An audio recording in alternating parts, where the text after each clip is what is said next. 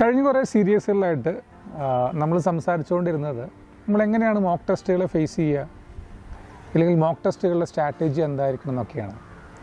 നമ്മളിത് കുറച്ചും കൂടി എക്സ്റ്റെൻഡ് ചെയ്യുകയാണ്.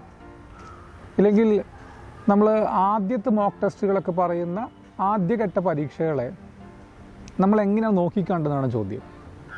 ഞാനതിന് ഒരു പേര് കൊടുക്കുകയാണ് പ്രീ അസസ്മെന്റ് ടെസ്റ്റുകൾ എന്നുള്ളത്.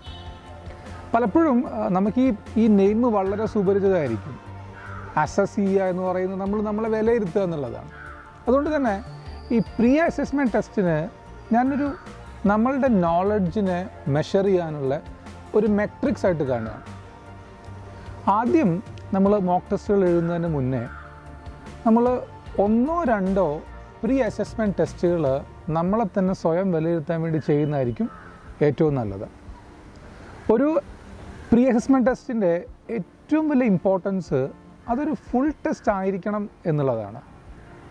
ഒരു സബ്ജക്റ്റ് ടെസ്റ്റോ ഇല്ലെങ്കിൽ ഒരു സെക്ഷണൽ ടെസ്റ്റോ അല്ല ഒരു മുഴുവൻ യു പി എസ് സി എക്സാമിന്റെ ഡിഫൈൻ ചെയ്യുന്ന ഒരു ടെസ്റ്റ് ആയിരിക്കണം നിങ്ങളുടെ പ്രീ അസസ്മെന്റ് ടെസ്റ്റ് കൃത്യമായ നൂറ് മാർക്ക് നൂറ് ചോദ്യമുള്ള നിങ്ങൾ ഒരു എക്സാമിന് നിങ്ങൾ യു പി എസ് സിയുടെ മോക്ക് എക്സാം നിങ്ങൾ എങ്ങനെയാണ് എഴുതുന്നത്?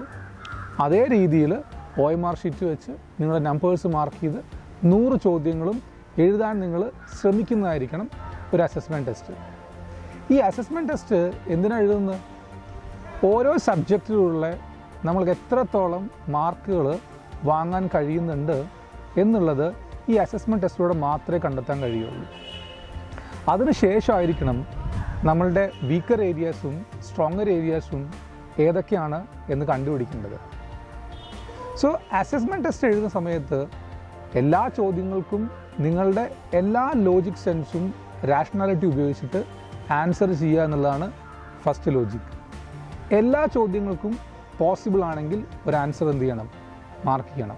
കാരണം ഒരു എക്സാം പഠിക്കുക പഠിച്ചിട്ട് എഴുതുക എന്നുള്ള ഉപരിയായിട്ട് നമ്മളുടെ കോമൺ സെൻസിൽ നിന്നും നമ്മളുടെ റാഷണാലിറ്റിയിൽ നിന്നും ലോജിക്കൽ അറേഞ്ച്മെന്റിൽ നിന്നും എത്ര ചോദ്യങ്ങളെ കറക്റ്റാക്കാൻ കഴിയുന്നുണ്ട് എന്നുള്ളത് കൂടെ നമുക്ക് എന്ത് ചെയ്യേണ്ടി വരും? വിലയിരുത്തേണ്ടി വരും. അപ്പം അതുകൊണ്ട് പ്രീ ടെസ്റ്റ് നിങ്ങൾ എല്ലാവരും നന്നായി ചെയ്യാൻ ട്രൈ ചെയ്ത് നോക്കുക. അതിനുശേഷം ആ വിലയിരുത്തലിന് ശേഷം മാത്രമായിരിക്കണം നിങ്ങൾ ഒരു മോക്ക് ടെസ്റ്റിന്റെ സീരീസിലേക്ക് നിങ്ങൾ കടന്നു വരേണ്ടത്.